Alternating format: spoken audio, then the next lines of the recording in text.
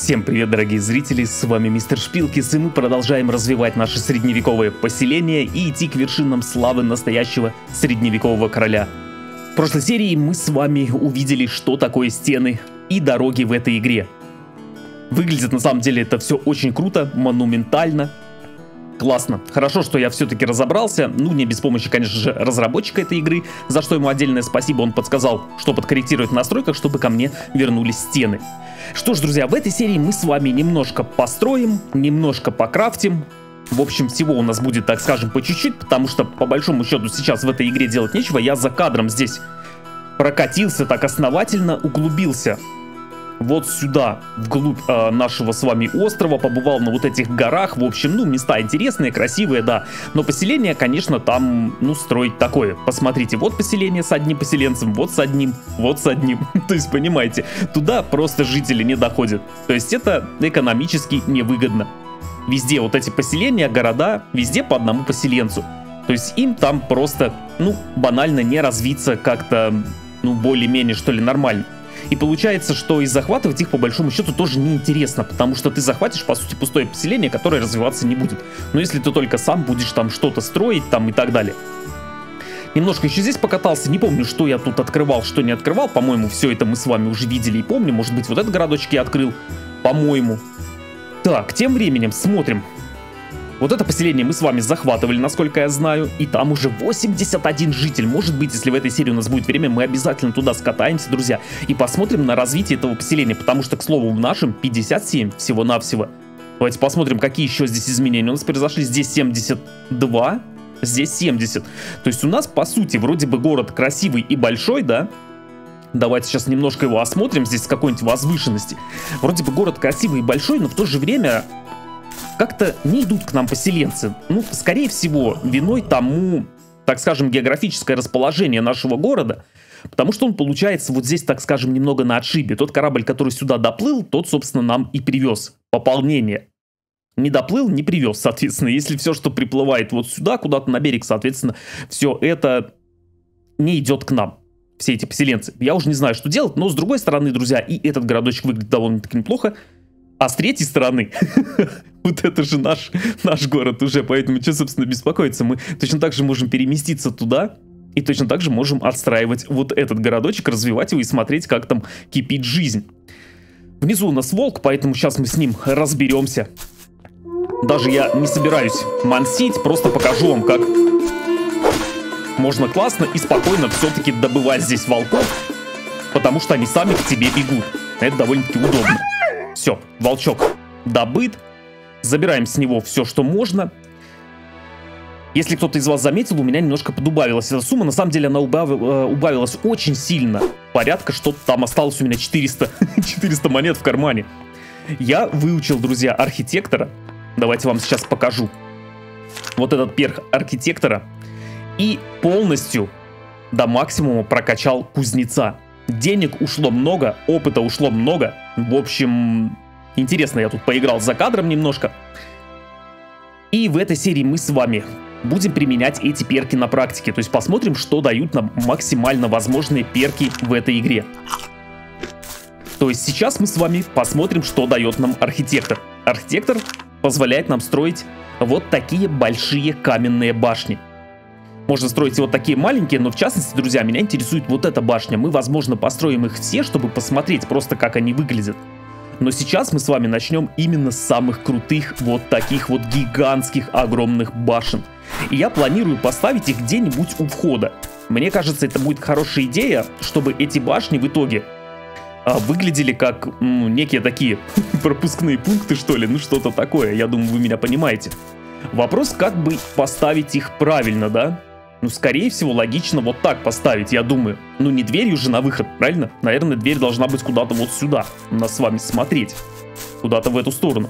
Конечно, не факт еще, что это все дело встанет, поэтому надо постараться сейчас покрутить, повертеть. Ну да. Здесь у нас с вами не позволит рельеф, к сожалению, установить вот эти вот крутые башни. Смотровые. Дозорные, не знаю, как они там правильно называются. Да, вот засада. Хорошо, да, немножко, смотрите, у нас была прорисовочка сейчас, но мы не будем особо отчаиваться, давайте просто переместимся на ту сторону города, я почему-то хотел именно в этой стороне. попробовать. Но здесь нам с вами не позволит рельеф. А на той стороне как раз таки рельеф позволит. Так, где мой верный конь? И почему так долго? Урежу э, зарплату тебе, пайку. Овса. Не получше меня ничего. Так, ну что, погнали. Какой-то баг у нас там происходит. С кем-то или с чем-то. Может быть, конь? Да, скорее всего, возможно. Забаговался какой-то конь. Так, что интересно, никак не могу избавиться от лагов, фризов, подтормаживаний в этой игре. То есть все я перепробовал, танцы с бубном, все возможные я провел, и шаманские ритуалы, все что угодно. Ничего не помогает, фризит игра периодически. Пообщался с разработчиком на эту тему, сказал, что поможет, по идее, говорит, такого быть не должно. Ну, посмотрим, посмотрим. Пока ответа нет, с нетерпением жду. Но надоедать, конечно же, не хочется отвлекать людей. А, так, хорошо. Сюда мы с вами прибыли. Разворачиваем всю эту штуковину красивую. Вот смотрите, да, где-то вот так вот, скорее всего, мы ее поставим. М -м, давайте, ладно, делаем сохранить игру. Ну что, пробуем, давайте как-то вот так, наверное, только понять, где у нас вход, и чуть-чуть вот так вот мы сейчас сдвинем нашу башню, чтобы она ну, не была слишком, здесь не создавала такой узкий проход. Хорошо, давайте пробовать, наверное, вот как-то так. Оценим, как у нас получилось. Ну, неплохо. Вроде бы неплохо. Что у нас здесь? Да, здесь у нас немножко такое получается пространство небольшое, но ничего. И, друзья, оцените. оцените это строительство. Это второй плюс от навыка архитектор. Строительство у нас похоже теперь на пулеметную очередь. Практически, друзья, происходит за какие-то считанные секунды. И получается, ну, мне, можно сказать, на монтаже уже практически никакой работы не осталось. И давайте немножко оценим внешне вот эту громадную, классную, интересную постройку. Смотрится, конечно, эпично, но стало криво, зараза. Ну, друзья, ладно. Не знаю, как это все делать ровнее.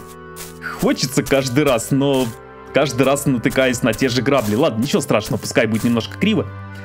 Не суть, может когда-то в будущем разработчик нам добавит возможность сносить построенные здания, и мы уж с вами там когда-нибудь переделаем. Просто сейчас заморачиваться на каждой загрузке здесь э, постоянно рассчитываются дороги, поэтому не очень хочется. Ну что, оценим внутри, как это все выглядит. Приходит сюда стражник. Здесь нужно сделать вешалочку для, для рабочей одежды. Переоделся такой и пошел на работу. Поднялся вот здесь, походил. Здесь, вот, смотрите, такая, получается, смотровая площадочка. Можно контролировать въезжающих в город проверять документы, так скажем. Ты кто такой? Проходи. Тебе можно. Давайте поднимемся немного выше, посмотрим, что у нас вверху. Здесь тоже небольшая площадочка, ну, скорее всего, тут для лучников, так скажем, места. Если что, вдруг это такой первый рубеж обороны получается. Хорошо. Ну и совсем-совсем наверху, здесь уже стоят ребята с котлами, льют свинец, раскаленное масло, кидаются зажженными факелами, чтобы всем внизу врагам было чем больнее, тем лучше, соответственно, нашим ребятам сверху. И радостнее прошел день, как говорится, хорошо. Ну что, давайте напротив соорудим нечто похожее. В принципе, такая задумка, собственно, у меня и была поставить друг напротив друга вот эти башенки интересные. Попробуем сейчас, может быть, эту поставить ровнее, а может быть и нет. Как получится. Не факт, что получится ровнее. Так, ну, наверное, да, наверное, что у нас там со входом? Наверное, как-то так, я думаю. Так, а здесь... А, то есть можно даже вот так вот сместиться немного, да? Оп. Ну вот я думаю, вот так вот поставим сейчас. Давайте, все. Долго, долго запрягаю, долго готовлюсь. Ну, хочется сделать красиво, друзья. Не зря я с самого начала старался здесь выводить и площади, и прочее, прочее, прочее. Что-то мне достаточно. Че врешь-то? Все нормально, я камней нафармил. Да, вот так вот получается у нас две такие башни будут на входе на въезде в город. Интересно. Так, ну что, давайте посмотрим на все остальные башни. Например, вот здесь мы с вами на углу можем поставить какие-нибудь другие дозорные башни, посмотреть, как выглядят они. я конечно же, это все посмотрел, но вам я с удовольствием тоже это все покажу. Спешивание, конечно, здесь достойно отдельных аплодисментов. Как это происходит это все время не так, как задумано. А, смотрим, необработанный камень. Давайте а, поставим каменную башню. Вот здесь. Тоже как-нибудь ее красиво развернем, чтобы логично у нас с вами был вход. Да, где-нибудь вот здесь, наверное. Хотя вход можно и вот так поставить. Мне кажется, это не критично особо. Ну и, конечно же, да. Где-то вот здесь. Сейчас мы ее поставим красиво. Все равно все криво получается, жесть какая. Вида сверху не хватает для подобного вида работ. Получается, как-то все хочешь сделать красиво, а на самом деле так. Не очень. А, хорошо, смотрим. Ну, тоже башенка интересная, деревянная башня этого типа, она точно такая же, только деревянная. Ничем особо больше не отличается. Точно так же у меня есть такой балкончик здесь, круговой. То есть можно и туда, и сюда. Ну, давайте для разнообразия построим. Почему бы, собственно, и нет. Но уже потихонечку у нас с вами наступает вечер, поэтому нужно сейчас, э, давайте построим последнюю башенку где-нибудь вот на этой стороне. Вот сюда ее поставим, деревянную, вот такую. И будем потихонечку двигаться к кровати. И уже в новом дне, друзья, мы с вами займемся кое-чем интересным. Мы еще в этой серии будем с вами крафтить самое крутое оружие, которое здесь у нас с вами в этой игре есть. Стальные мечи. Сделаем для теста стальной двуручник и стальной одноручник. Посмотрим, какой из них меч поинтереснее. Ну чертова ж ты башня, ставься ж ты, я тебя прошу. Вот, хорошо, хоть, хоть здесь, хоть где-нибудь, я уж согласен. Ох, крутое строительство, обалденно. Ну, она точно такая же, как и каменная, только... А нет, смотрите-ка, здесь... Здесь немножко убранство поинтереснее. Тут есть мечи, щиты, здесь есть лавочки. М-м-м. Забавно, эту башню проработали как-то поинтереснее. Я думаю. А что, нет? Мы так не можем? Паркур! Нет? Ну ладно. Так, ну что, давайте тогда добираться до кровати. Где мой верный конь? Спим, и с вами у нас будет вторая часть серии. Чем я еще планировал здесь позаниматься? Я планировал покрафтить. И, соответственно, поохотиться на животных с этим оружием. Посмотреть, как в сравнении с нашим стальным мечом, с обычным, ну, не такой же обычный, конечно, классный и крутой, относительно топора и так далее. Но все равно интересно бы посмотреть, как будут добывать стальные мечи, двуручные и одноручные, тех же бизонов, тех же оленей. Но что-то мне подсказывает, что шансов у этих животных нет никаких. Шансов побегать подольше. У них-то шансов и против железного меча нет, ну а с остальным, я думаю, и того меньше. И если останется время, я бы очень хотел, конечно, смотаться в тот городок, который мы захватили, в котором нас с вами, давайте часиком, наверное, 12. Как настоящий король. Выспимся от души. Хотел смотаться в тот городочек, который захватывали. И посмотреть, что у нас там с развитием. Стали ли они там строить, по примеру вот нашего первого захваченного города, который стоило нам только захватить, и тут же дело пошло и покатилось. У них строительство пошло, и все пошло. И все было классно и хорошо. Так, ну что ж. Ох, как вы мне дороги, лаги, фризы и так далее. Причем обидно, знаете что, что игра раз в 10 требует комп, так скажем, слабее, чем мой. Вот это очень обидно, что это все лагает при этом. Так, ладно. Ну что, пробуем. Начинающий кузнец. Смотрите, здесь пишется перк, но чем мы будем больше делать длину лезвия, тут же нам нужен сразу превосходный кузнец. И где-то здесь продвинутый, где-то здесь обычный кузнец, то есть... Понимаете, да, смысл, почему я именно выкачивал превосходного, потому что самый крутой меч нам с вами, чтобы сделать, нужен именно такой перк. Хорошо, сталь. Дальше, тип лезвия. Ну, давайте, наверное, сейчас мы сделаем какой-то одноручник типа вот такого вот, с таким лезвием. Мне хотелось бы интересно. Я даже не буду менять вот эти вот, как это называется, крестовина. Не буду ее менять, мне нравится. Сочетается довольно-таки нормально. Смотрите, тип ручки. Если мы увеличиваем, соответственно, уменьшается скорость. То есть так у нас скорость полтора, и на этом мы с вами, собственно, и остановимся. Тип рукояти. Ну, можем сделать какой-нибудь вот такой вот для красоты, для разнообразия. И вот такой у нас тип яблока будет. Хорошо, создаем. Для этого нам понадобится три стальных заготовки. У меня все это дело есть. Я уже за время здесь странствий подкупил этих заготовок, подкупил и руды, и Что только не купил я. И чего только я не продал за это время, на самом деле. Так, хорошо. Сделали мы с вами меч, вот он. Но здесь есть такой интересный момент. У меня постоянно куда-то исчезают мечи. Поэтому давайте мы с вами поступим сейчас вот таким образом. Мы выложим наш меч, который железный. Вот этот. Да, вот они подписываются, хорошо. У нас есть свое собственное хранилище. Кстати, друзья, у нас есть свой собственный дом. Я вам не показывал его, не рассказывал. Смотрите-ка. Вот здесь за лавочкой. По совету из комментариев, по совету зрителей канала, я построил себе собственный дом. Потому что, ну что это за король, да, у которого нет хотя бы своего собственного дома. И вот такой вот домишка скромненький, небольшой, маленький. Двухэтажненький, да, уютный.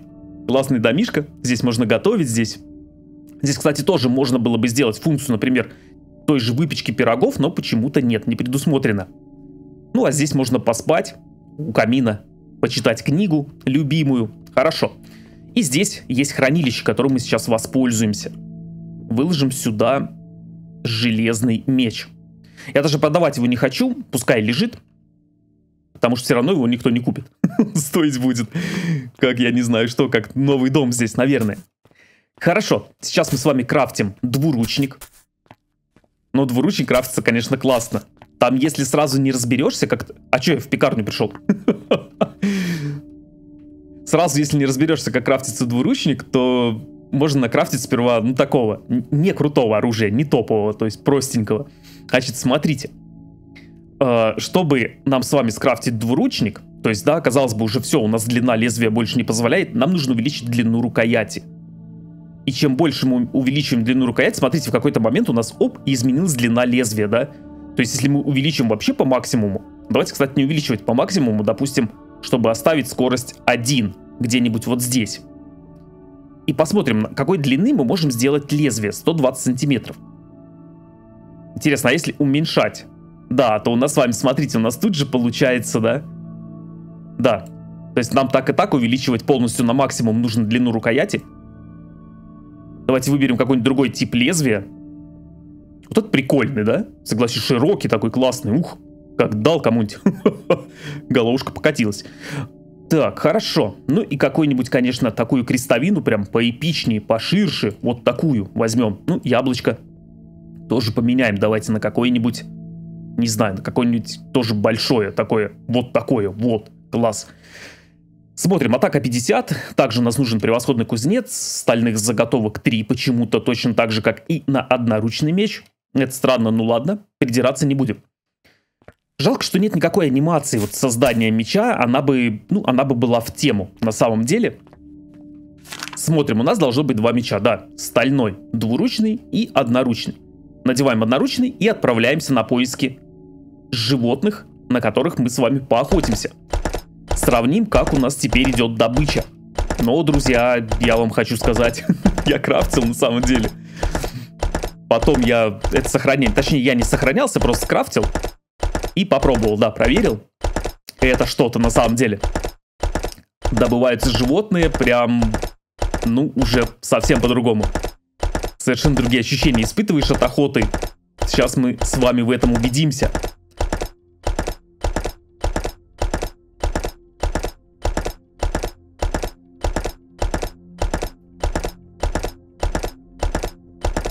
Ладно, всех истребил, что ли? Вот, смотрите, олень, да? Он убегает, но ничего страшного. Мы его с вами обязательно догоним. Стальной одноручный меч.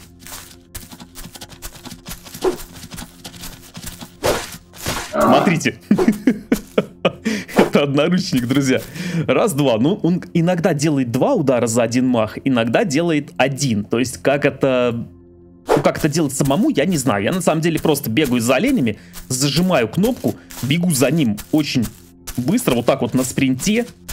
Зажимаю кнопку и постоянно машу мечом. Они иногда вот так вот мансят. Пожалуйста, два удара. Все, олень повержен. Забираем. Давайте поищем сейчас бизончика. Попробуем на нем потестировать. Одноручный меч, как он добывает, быстро ли, потому что олени падают с двух ударов, это на самом деле очень круто. Вспоминаю, как я гонялся за своим первым оленем с топором. Причем они все убегали, потому что у тебя банально не хватает скорости. А если играть, причем еще и не с повышенной скоростью, а с обычной, которую предлагает игра в начале, то вообще там нереально кого-то догнать, это, это мука будет. Просто-напросто. Так, смотрим, бизончика нет, но есть еще один олень, поэтому шансы мы, конечно же, упускать не будем. В догоночку. Оп. Да, действительно, два удара, причем один удар сбивает больше половины здоровья. Интересный момент. И еще здесь э, много действий запрограммировано на левую кнопку, то есть и махать, и в инвентаре, и когда ты находишься в инвентаре, то есть любое действие в инвентаре вызывает взмах мечом. Это на самом деле момент интересный, потому что когда кто-то рядом находится, можно прям реально ему голову-то с плеч и снести. А вот что интересно, бизоны, на удивление, куда-то делись. Обычно их довольно много здесь ходит, блуждает везде. Ну вот как-то сейчас не везет мне. Хорошо, ничего страшного, сейчас мы вызовем такси. Шеф, два счетчика. Конь, ну я тебя прошу, пожалуйста, давай быстрее. Нет времени сейчас на всю эту возню. Вот, можешь, когда хочешь. С мечом не садиться. У нас конь привереда. Вооруженных не пускает покататься. Хорошо, сейчас мы, я думаю, найдем в любом случае бизона где-то. Вот еще один олень. Можно попытаться это все делать на коне, друзья, но это такое вообще, потому что скорость коня регулируется кнопками вперед и назад. То есть вот я сейчас вообще не держу на клавиатуре руку, то есть только на мышке. И у меня все нормально, у меня все едется, все скачется и все хорошо. Э, поэтому... Так, ты кто? Ты конь. А, Поэтому вот когда ты куда-то попадаешь, какой-то камень упираешься, или тебе нужно сделать резкий маневр на коне, то это невозможно. У него такое плавное, вот такое вот все, вот такие вот развороты. Так, они уж всех бизонов-то перебили на карте, а? Поселенцы. Хотя вот я еще не наблюдал такой картины, чтобы поселенцы охотились здесь на животных. Да, деревья рубят, они Фермеры, кстати, пожалуй, самые бесполезные здесь создания. Как по... Мишка! Ты как нельзя, кстати. Ты нам тоже сгодишься для теста. Ну что, ты готов? Давай. Смотрите, друзья. Каких-то 4, там, 5 ударов. И все. Причем наносятся они довольно быстро, потому что меч у нас, ну, тоже немедленный получается.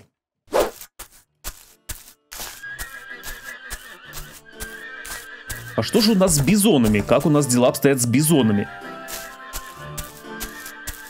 Что-то очень кислое, вообще неожиданно. На самом деле, я думал, что сейчас выскочу вам тут, как покажу. Потому что подозреваю, что... А, с мечом не садится. Подозреваю, что на двуручник нам с вами придется искать где-то в других местах животных.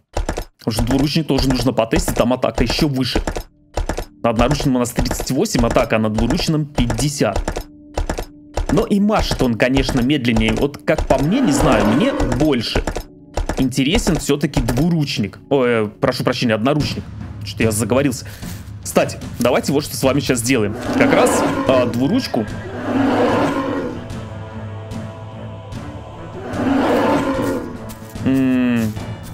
А еще все-таки есть здесь баг с мечами какой-то, смотрите, то есть у меня двуручка куда-то делась. Сейчас мы медведя зарубим и разберемся. Хорошо. Все-таки это баг с мечами. Если класть в инвентарь э, два меча, получается они вроде как... Ну вот смотрите, одноручный, одноручный, да? Давайте снимем, например. Одноручный стальной, одноручный, они тупо становятся одинаковыми. One hand, да, получается так. Хорошо, тогда мы с вами поступим вот таким образом. Сейчас мы выложим эти два меча. Они расклонировались у меня сами по себе. Сгоняем. А где конь? Сгоняем сейчас э, в кузницу уже пустым персонажем, чтобы был у нас только одноруч... Э, точнее, скрафтить только двуручный меч, чтобы у нас никакого бага не произошло с заменой. Потому что, сами видите, у меня два одинаковых меча, я их не делал. Я делал два... Точнее, два разных. Ну, конь, елки-палки. Сколько можно? Ты что, издеваешься? Или его медведь задрал, что ли, там с двух ударов? Да не верю я. Что-то новенькое на самом деле. А где конь?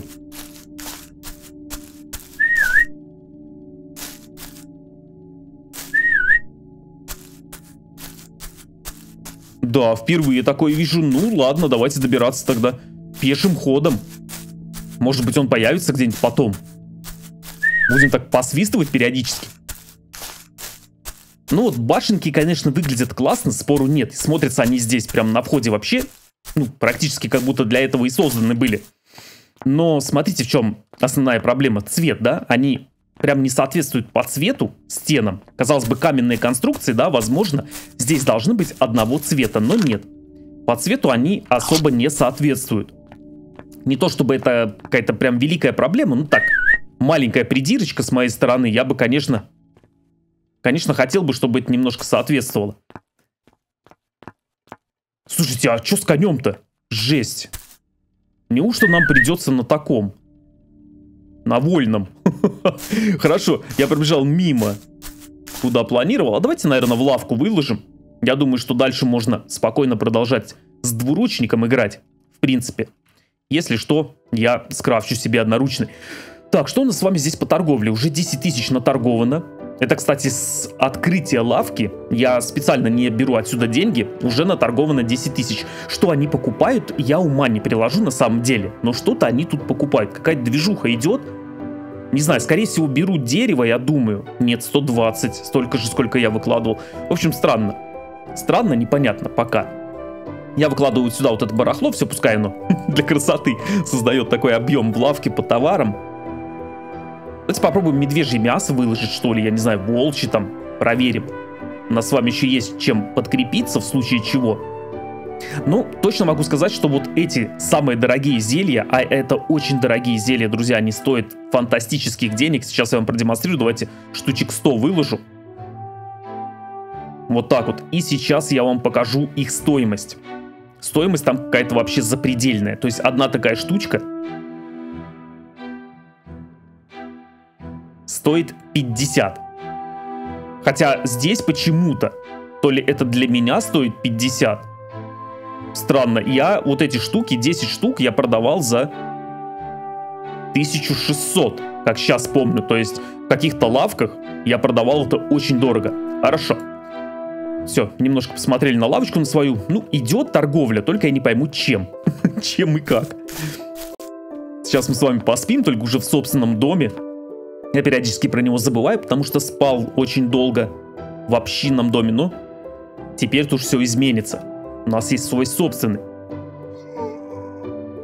Че ты ойкаешь, друг? Ты что, заболел чем? Кстати, в мире нет болезней никаких пока еще. Может быть, разработчик такое добавит в игру со временем. Плакало мое седло, короче. Не то чтобы это мне прям очень нужно, но Конь под рукой, это было удобно, конечно. Это было очень удобно. Кстати, у нас там ходит бизончик. На нем мы будем тестировать сейчас двуручник. Давайте сразу. А, опять не туда. А, сразу сейчас кузница у нас, по-моему, здесь должен быть, да, полностью запрограммированный двуручник. Все. И с оружием здесь манипуляции очень опасные. Можно реально свое потерять, если будешь продавать или как-то так. У меня, по крайней мере, такое было. Я сперва не понимал, что это и куда девается мое оружие. А потом, да, потом я понял, что что-то здесь не то, когда это все дело кладешь в инвентарь. Двуручник, конечно же, берется двумя руками. Ну что, бизон, готовься. Смотрите. Жесть. Вы понимаете, да? Понимаете этот колоссальный урон, который наносит двуручный меч? Он за два удара снимает пол хп бизона. То есть, соответственно, 4 удара и добыча ваша. Так, мне вот интересно еще кое-что. Можем ли мы с вами создавать седла? Давайте-ка попробуем. Все-таки свой конь, это очень удобно, который тем более еще и вызывается. Э, седло. Что нам нужно для этого? 5 выделанной кожи. А, то есть смотрите, только недостаточно ресурсов, да? А здесь? Шкура кролика. Нет, а что у нас есть? У нас много должно быть какой-нибудь медвежий, да? Оленя. Да, давайте сейчас из лавки забираем оленью кожу. Шкуру, точнее. И попробуем из нее сделать выделанную и сделать седло. И какого-нибудь коня сейчас себе взамен нашего утраченного, которого медведь задрал. Сейчас мы себе арендуем. Смотрим, оленя, да, вот смотрите, 6 шкур. Отлично, как раз то, что нужно. Нам должно хватить полностью на седло. Ожидается какое-то в скором времени крупное обновление. Насколько в скором, не знаю, но вроде вот э, разработчик там с месяца на месяц ожидает там обновление. Посмотрим, посмотрим. Хотелось бы, конечно, что-нибудь еще в этой игре, потому что вроде как дальше сейчас вот у меня на данный момент. Это что такое? А, волчья, не, не, волчья нежа. Где была оленя? Вот на данный момент вроде бы... Вот, нам нужно сколько на седло? По-моему, 5, да? Да. Только строить дома. Вот дальше в нашем городе развивать, строить дома более как-то особо и нечем даже заняться, по большому счету. Так, ну что ж, выходим. Пойдем сейчас арендуем коня и все-таки прокатимся. Напоследочек взглянем на тот городочек, в котором аж 81 поселенец. Но по пути, если сейчас получится где-нибудь с вами оленя, попытаемся двуручником добыть. Ну что-то мне подсказывает, друзья, что там достаточно просто догнать. А смысл еще в том, что у него гигантские размеры. Он там на полкилометра достает своим вот этим э, лезвием огромным. Так, ну что, у нас с вами будет вот такой конь, да, как я понимаю? Оп. Слезаем, и где-то здесь опция надеть седло, да. Все. Смотрите, как красавчик, да, серенький, симпатяга. А вот и олень. Забрел на пляж на свою голову. Это ты зря, олень. Это ты зря. Не попал, а ну. Да, видите все-таки, как машет на самом деле медленно. То есть эффективно, наверное, будет... Если только вот так вот ты не попадешь, то эффективно, скорее всего, все-таки с тем одноручным мечом. У меня такое чувство. Двуручник, конечно, классный, но махает очень медленно. Ну, ничего страшного. Нам уже здесь по силе равных нету, никакой бандит нам ничего сделать не может, по большому счету, поэтому... Угу, а вот ты где. Поэтому мы с вами дальше будем с двуручником играть, если уж мне сильно надоест, я, наверное, изменю его на какой-нибудь другой. Я не думаю, что есть смысл на лисах там и на енотах показывать, как э, добывает двуручник. Он их будет убивать с одного удара, я почти в этом уверен. Тех же волков, ну, на волке можно, кстати. Можно, на волке потестировать можно. Ну что, волчок, ты готов? Бум. Куда-то там вообще непонятно куда. На. Все, нет волка. Два удара. Предсмертные судороги, ну. Ничего страшного. Так, хорошо. Сейчас мы с вами как раз проедем через соседний захваченный городок. Посмотрим, что у нас здесь. Здесь тоже жителей больше, чем в нашем. А давайте я налоги задеру. Я уж не знаю, честно говоря, что делать. А с другой стороны, какой смысл, да? Я же смогу, по сути, любое поселение захватить. То есть зачем мне э, ухудшать здесь им жизнь, если... Если мне понравится, я просто возьму и захвачу это поселение. Давайте куда-нибудь сейчас повыше на точку заберемся, посмотрим, как они тут расстроились. Да, слушайте, ну неплохо, неплохо. Ничего не скажешь, классно. Там вот тоже парень что-то рубит воздух, ну наверное, что-то строит. Пытается. Домики, конечно, разнообразные. В основном такие простенькие, да, очень много таких вот одноместных, так скажем, номеров, да, получается. Интересно, а если попробовать сейчас стены здесь поставить, вот что будет? А что, собственно, нам мешает, да? По-хорошему. Давайте сохранимся, да попробуем. Но у нас камней хватает на каменные стены. А, смотрите-ка. Вы слишком далеко от центра своего поселения. Ага. Интересно, а что может являться центром? А чтобы это выяснить, нам с вами нужно его выделить. Это поселение, и по идее нам должно указать на центр. Да, а центром здесь является общинный дом.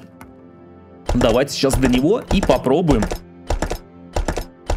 Попробуем построить стены. Не знаю, как они встанут при, таким, э, при таком строительстве, да, слишком такой город размазанный получился по пляжу. Ой, Миша, тебе не понравится, честно. Ты, конечно, можешь попробовать. Я попробую за тебя. Иди сюда.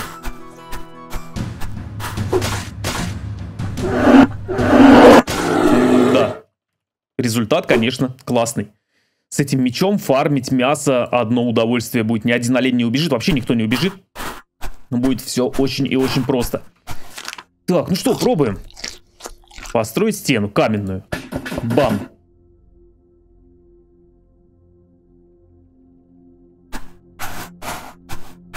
Так. Ну, говорят, типа, подожди там пару минут, пока стена там прорисуется, пока это... Ну, у нас этих пары минут нету. Если она прорисуется и построится, она и построится без моего участия. Ну, а если нет, то нет. В этом тоже ничего страшного нет. Э, главное, что мы окружили наш основной город стеной и второе поселение, которое основали, тоже окружили стеной. Этого мне достаточно. Ну что ж, отправляемся в еще одно захваченное поселение, посмотрим, как там у нас с вами идет развитие.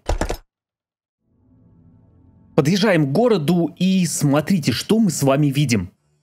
А видим то, что исчезли стены. Возможно, это как-то связано с тем, что я захватил это поселение, и стены исчезли, или это связано с чем-то еще. Ситуация, честно говоря, не очень понятная, но как бы имеем то, что имеем, стен нет. И заметьте, сейчас в первом захваченном нами поселении точно так же у нас с вами не установили стены. Может быть установились, может быть уже они там и есть на месте, да, стоят, но не произошло этого сразу. И здесь у нас с вами больше нет стен, как ни странно. Но в нашем городе основном стены есть, с ними все в порядке. И, честно говоря, вы знаете, развитие, конечно, ну, лучше здесь не стало, мне кажется. По-прежнему они почему-то здесь копошатся все на берегу, непонятно, что это такое, баг это или что. Но посмотрите, какое количество людей, какое количество поселенцев. Причем дорога даже есть. Посмотрите, а дорога осталась э, от стен, видимо, от строительства стен. Но чем они здесь заняты, вот эти вот ребята, мне совершенно непонятно. Посмотрите, сколько народу просто не протолкнуться. Что они здесь делают на берегу? Мне не ясно. Почему не идет развитие дальше? Почему они не строят ничего? Они уже должны здесь были застроиться, мне кажется, прям вплотную к тем стенам подойти. Но нет, этого не происходит. Как ни странно. Так, хорошо, давайте мы тогда, наверное, построим стены и здесь. У нас вроде бы дерево есть, да, 120 еще есть у нас. Разрушить стену, смотрите. А, интересно.